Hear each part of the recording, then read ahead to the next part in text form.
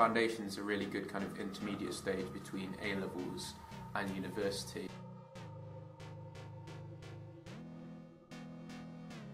Because um, in my own A levels, I pretty much just worked the one medium, which was kind of oil painting, and I felt that the kind of I didn't have as much freedom as I have here.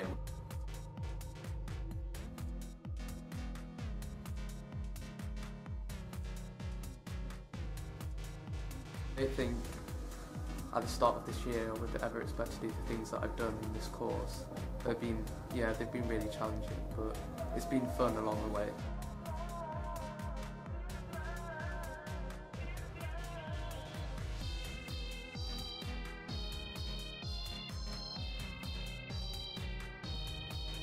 The tutors are very helpful. You've got four tutors basically, so you have a wide range of opinions about your work.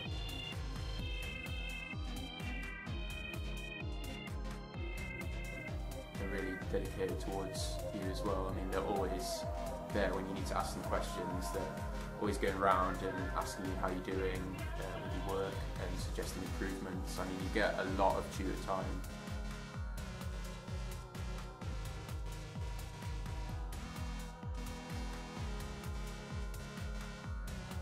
So you can basically get loads of ideas from them, pick and choose which one you like the best and then work from that or have a combination of them all.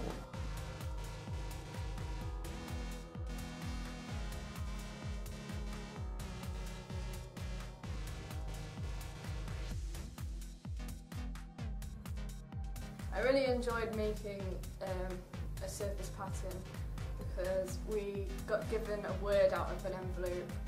Um, mine was a grouse and we just had to get images of it and do spontaneous drawings and then put them into a repeat pattern and then we got to silkscreen print with it. So it's just a new thing that before.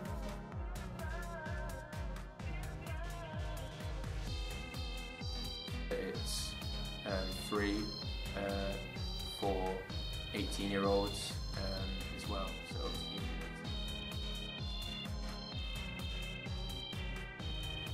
the course has prepared me really well for uni um, in kind of opening me up and finding out what I'm about. I think I've found a lot more that I'm able to express myself um, when compared to kind of fine art A level. It's very kind of prescriptive. Uh, you have to kind of it's all about aesthetics really, but I think in this course there's a lot of experimentation and can just be more free with your expression and really do and get into what you want to. It really helps.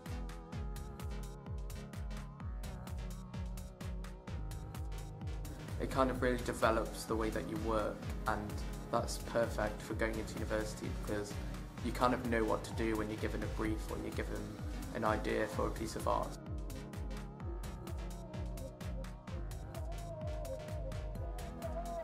The other kind of advantage of foundation is you can get to know loads of different practices within the arts and narrow down what you might want to do at university, whereas um, in A level you maybe won't have much of an idea of kind of how vast art is and what you want to kind of narrow your practice down to.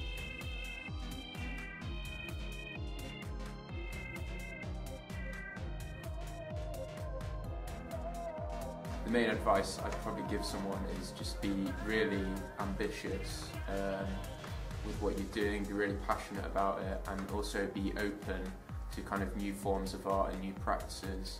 Because there'll be a lot of kind of exercises where you'll be asked to do something that you maybe haven't done before. But I just think you have to kind of have an open mind on those first few kind of uh, weeks of foundation and you'll really get to enjoy it after that and understand why they're making you do all this experimentation and all these different things and you'll really yeah you'll really enjoy it by the end and get to grasps with it and understand how it's helped you develop. Mardi. What's